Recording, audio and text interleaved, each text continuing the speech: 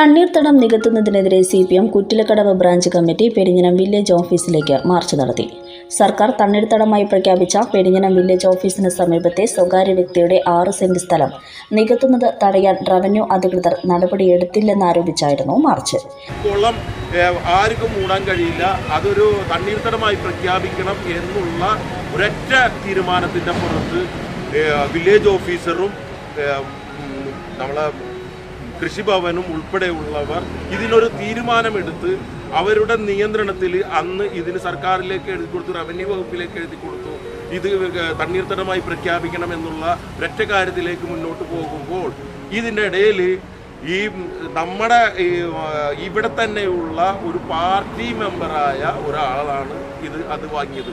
എനിക്ക് മൂടാൻ ഞാൻ മൂടിത്തരാം എനിക്ക് ചുളി വിലക്ക് തന്നാൽ മതി ഞാനത് മൂടി വിറ്റോളാം എന്ന് പറഞ്ഞു. ആ ചുളി വിലക്ക് കൈക്കലാക്കി. ആ ചുളി വിലക്ക് കൈക്കലാക്കി ഈ ഇദ്ദേഹം അത് മൂടാനുള്ള ശ്രമമാണ് നടത്തിയത്. ഈ പാർട്ടിനെ സംബന്ധിച്ചിടത്തോളം പാർട്ടി ഇങ്ങനത്തെ ഈ കാര്യത്തിന് തണ്ണീർത്തടം സംരക്ഷിക്കേണ്ട കാര്യത്തിൽ ഏറ്റവും മുമ്പതിൽ നിൽക്കുന്ന പാർട്ടിയാണ്. പാർട്ടി എന്ന് പേര് വെച്ച് ഏത് ലേബലിലും മൂടാനുള്ള ഒരു ഔദാര്യം പാർട്ടി കൊടുത്തിട്ടില്ല. ആ പാർട്ടിയുടെ പേര് ലേബൽ വെച്ചുകൊണ്ട് ആ ഒരു ഔദാര്യം വെച്ചുകൊണ്ട് അത് മൂടാനുള്ള ശ്രമം നടത്തിയപ്പോൾ അതിനും തടയാൻ കുട്ടിലക്കടവ് ബ്രാഞ്ച് ഉണ്ടായി പാർട്ടി ഉണ്ടായി ഇവിടുത്തെ യുവജന പ്രസ്ഥാനമായ ഡി വൈ എഫ് ഐ ഉണ്ടായി.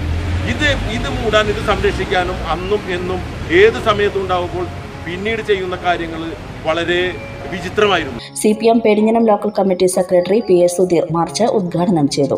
നിരന്തരം ഈ ലോഡ് അടിക്കലും ഇതുമായി ബന്ധപ്പെട്ട് ആ സമയത്ത് നമ്മൾ വില്ലേജുമായി ബന്ധപ്പെട്ട് നമ്മൾ പരിശോധിച്ചപ്പോഴാണ് തറയിൽ സജീവരക്ഷണം എന്ന് പറയുന്ന പാർട്ടി അംഗമായ ഒരാളുടെ പേരിലാണ് മുന്നോട്ട് മനസ്സിലാക്കിയത്. ഇത് മനസ്സിലാക്കിയ സമയത്ത് തന്നെ അദ്ദേഹത്തിന് വിളിച്ചു വരുത്തി ഇനി ഭൂമിയുമായി ബന്ധപ്പെട്ട പ്രവർത്തനങ്ങളിലേക്ക് മുന്നോട്ട് പോകാൻ പാടില്ല. ഇനി ആ ഭൂമി നികത്താൻ പാടില്ല എന്നൊക്കെ പറഞ്ഞെങ്കിലും അതനുസരിക്കാതെ അത് പാർട്ടിയെ വെല്ലുവിളിച്ചുകൊണ്ട് പോകുന്ന സമീപനമാണ് അദ്ദേഹത്തിന്റെ ഭാഗത്തുനിന്നുണ്ടായത്. അത് മനസ്സിലാക്കിയ ഉടൻ തന്നെ അദ്ദേഹത്തിൽ നിന്ന് സി പി എമ്മിന്റെ പ്രാഥമിക അംഗത്വത്തിൽ നിന്നും മാറ്റി നിർത്തിക്കൊണ്ട് അദ്ദേഹത്തെ പാർട്ടിയിൽ നിന്ന് ഒഴിവാക്കുന്ന സമീപനം ഉടനെ തന്നെ പാർട്ടി സ്വീകരിച്ചിട്ടുണ്ട്.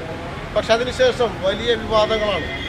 അതായത് ഇവിടെ നടക്കുന്ന എല്ലാ നേതാക്കളും അതുപോലെ തന്നെ ഇതുമായി ബന്ധപ്പെട്ട് ആരൊക്കെയോ പ്രവർത്തിക്കുന്നുണ്ടോ? ഡി വൈ എഫ് ഐ ഉണ്ട് പാർട്ടിയുണ്ട് മറ്റ് വർഗ സംഘടനകളുണ്ട്. ഇവരെല്ലാം അവരെയെല്ലാം ഒരു പ്രതിരോധത്തിന്റെ മുൻമുനയിൽ നിർത്തിക്കൊണ്ട് അവരെല്ലാം ആരോപണ വിധേയരായിട്ടുള്ള ആളുകളായി ചിത്രീകരിച്ചുകൊണ്ടാണ് വലിയ വിവാദത്തിലേക്ക് ഇത് വന്നത്. പാർട്ടി എടുക്കുന്ന തീരുമാനം എന്ന് പറയുന്നത് ഇത്തരത്തിലുള്ള ഈ തണ്ണീർത്തടങ്ങൾ മൂടുന്നതിന് യാതൊരു ഒരു ഇതുമില്ലാതെ തടയുന്ന സമീപനമാണ് പാർട്ടിയുടെ സ്വീകരിക്കുന്നത്.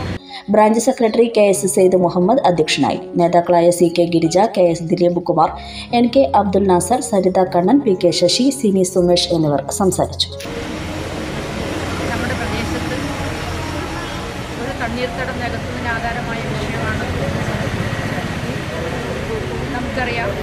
രണ്ടായിരത്തി എട്ടിലെ തണ്ണീർത്തടം വയലുകൾ നികത്തുന്നതിനെതിരെയുള്ള നിയമം രണ്ടായിരത്തി എട്ടിൽ സഹാ പി എസ് അച്യുതാനന്ദൻ നേതൃത്വം കൊടുക്കുമ്പോൾ കേരളത്തിലെ ഇടതുപക്ഷ ഗവൺമെന്റ് നിയമം നടപ്പിലാക്കിയതാണ് എന്തുകൊണ്ടാണ് എന്ന് വെച്ചാൽ അന്ന് ആലപ്പുഴ ജില്ലയിലുള്ള കായലും വയലുകളോട് നികത്തിക്കൊണ്ട് കൈകൾ വെച്ച് പിടിപ്പിച്ചുകൊണ്ട് ഭൂമാഫിയ അടക്കമുള്ള കോർപ്പറേറ്റുകൾ അടക്കി വാണിരുന്ന സാഹചര്യത്തിലാണ് അന്ന് സഖാബിയ സച്ചിദാനന്ദ നിയമം കൊണ്ടുവന്നത്.